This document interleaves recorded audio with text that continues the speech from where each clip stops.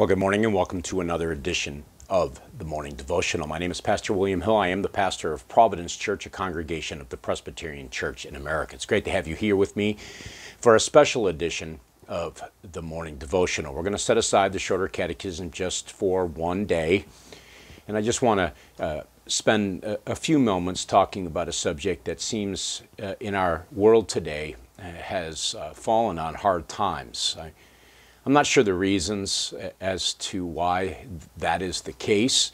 Um, I suspect I could come up with a bunch of them um, uh, with the understanding that there, uh, there's no way for me to root out uh, all of the ins and outs of uh, the issue that relates to uh, the prayer meeting, and that is, of course, the public gathering of God's people for the specific purpose to pray as God's people for the needs of the world, the church, our brothers and sisters, and whatever. Let's pray first, and then I'm just going to do a survey through this subject and offer some, I hope, some pastoral and practical suggestions as by ways in which we can change this um, this uh, this issue. Let's pray. Our Father in heaven, as we come before you uh, this morning, we come with the understanding that you have granted to us the glorious privilege of prayer, and we would pray that you would help us as we seek to understand your word, as we seek to consider these matters. That you'd grant us your spirit, that you would make us a praying people. Forgive us for our prayerless prayers, and help us that we might, as your people, have a zeal, a desire to gather as your people to pray and to plead with the God of heaven. Be gracious to us, we ask, for Christ's sake. Amen. I just want to read a story that was told. Um, I got this from another source. I don't remember exactly where, but the story goes like this There are so many examples of how corporate prayer was the springboard for the sweeping movements of God. Let me mention a few. In 1857, America was riding the wave of a strong economy and, as tends to be true in times of prosperity, showed a radical decrease of interest in the things of God. There was a layman named Jeremiah Lanphier whose concern led to a call for prayer. He tacked up notices in New York City calling for a weekly prayer meeting on Wednesdays from noon till 1 at a rented space on Fulton Street. The first prayer meeting was on September 23, 1857. Only six people came, and they didn't arrive until just before 1230. The next week, the attendance jumped to 20. The numbers continued to climb week by week. Then on October 10th, the stock market crashed and a financial panic ensued. Trouble had its humbling effect, and the hearts of many turned to spiritual matters. It wasn't long until somewhere between 10 and 50,000 businessmen were meeting every day in New York City to pray at noon. By week 15, the meetings moved from weekly to daily. In 1858, this prayer movement leaped to every major city in America. The Second Great Awakening swept our land. Estimates are that a million Americans out of a population of 30 million at that time were converted in less than two years. And it all started with prayer. Now, I don't need to tell you that we live in very difficult days and trying times in our world. Our economy is in peril. Uh, the nation itself, at least the United States, is more divided than I can ever have I ever remember it. Now, granted, I'm 55 years old, and some of you are much older than me and can remember more difficult things, but I have never seen a nation so divided. We live in perilous times on the morality front, from the issue of homosexuality to abortion uh, to woke theology to critical race theory to the social gospel to the plummeting numbers that exist within our churches all across this land to the drop in, of those who would actually say that the Bible is God's Word. We live in trying times indeed. But it seems that in these trying times, the number of people that gather each week to take advantage of the means of grace, at least one of them, and that is the corporate gathering of God's people to pray, has plummeted as well. And I suspect there is a correlation. Now, I recognize logically that causation, correlation does not equal causation. But it does seem to me, at least, that when God's people, especially God's people, will not make effort to carve and schedule their week in such a way that they make as a priority the corporate gathering of God's people, the results are obvious. And I think we're living in those results. We're living in the consequences of the behavior of God's people in this nation. Certainly, there are other factors uh, contributing to the problems that exist within our social structure and our social sphere. But the absence of God's people on a weekly basis to pray for the needs of the church and the needs of the world, the nation, and our leaders, and frankly, it confounds normal and reasonable thinking. I know that we have excuses, we have reasons, we have many things that are going on in our lives, and some of those are providentially ordered and some of those are legitimate. In my own church, we have people that work midnights. We gather for prayer on Wednesday nights. They're sleeping, and they should be, because they need to go earn their daily bread. But there are others uh, in churches all over our country in which people just don't prioritize their week in such a way that they're able to be in attendance. Uh, instead of bringing or coming and bringing their children with them to pray together with the people of God and model that by example, uh, that very important duty and privilege, we opt out for other things and we place other things that do not have anywhere near the value or the importance of gathering with the people of God to pray. So let me just give some uh, pointers, some, uh, some guidance uh, on this subject. Um, it, it is one that, um, well, we must take seriously. First, we need to note that corporate prayer is on par with preaching and teaching as a priority in a healthy church. It was Charles Haddon Spurgeon that tr- contributed his, his, the fruit of his preaching to the hundreds of people that would pray for him while he was preaching. How many times have I heard in seminary that as I work on sermons, I need to bathe my sermons in prayer?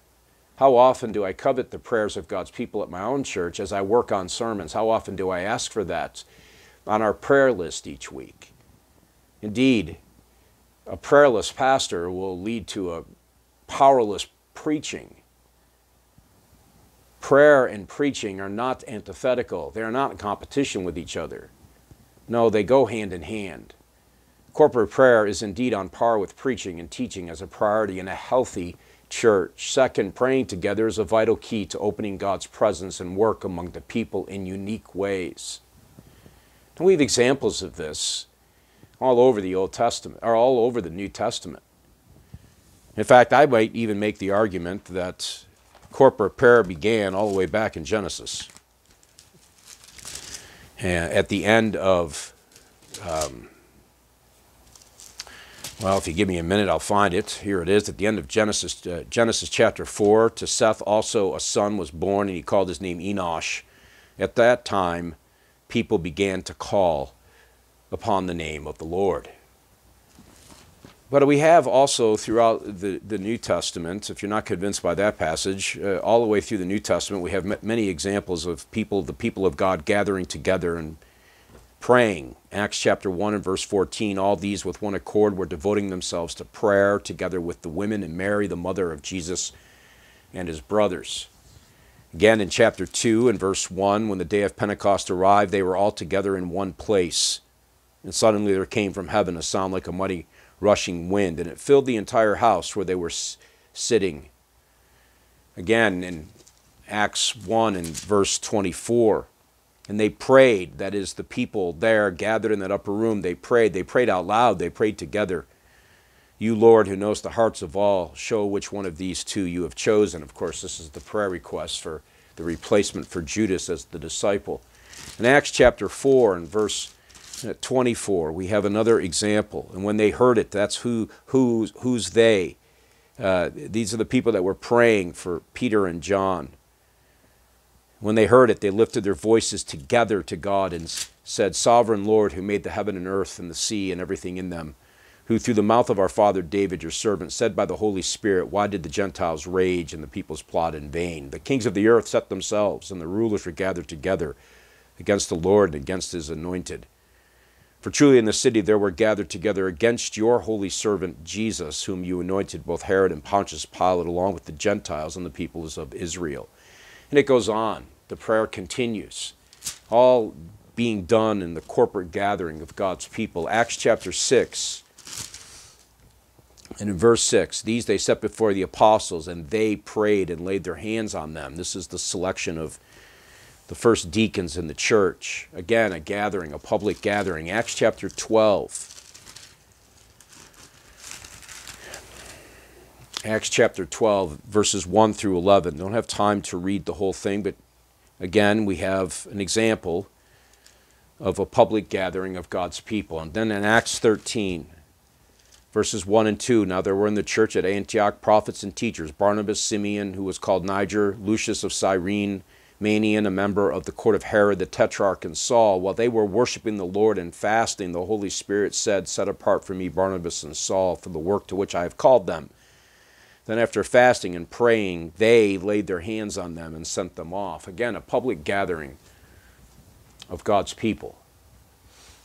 Examples upon examples throughout church history of how revival has started through the corporate gathering of God's people. Third, prayer meeting should not be seen as an extracurricular activity of the church. It is a public gathering of the people of God, it's a public gathering of God's people. And it should be prioritized.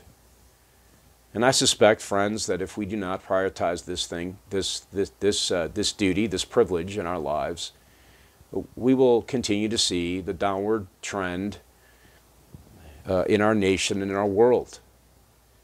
What else, is, what else is more important than gathering to pray and plead with the God of heaven with your brothers and sisters? To walk hand in hand with them as we pray together for the needs that affect our churches, our world, our nation, our leaders, our loved ones. No, indeed, corporate prayer meetings have fallen on hard times. And it is my zeal, my desire, my prayer that as God's people, we would begin, we would make the adjustments, maybe even repent, maybe even realize that this is something that is not merely a tack on to our week, but it's as important a thing that we can do. It's on par with preaching, it's on par with the teaching of the Word. God's people must pray together. We must do this if we are to see the God of heaven work as He has in the past in a powerful way to change the course of our churches and our world in which we live.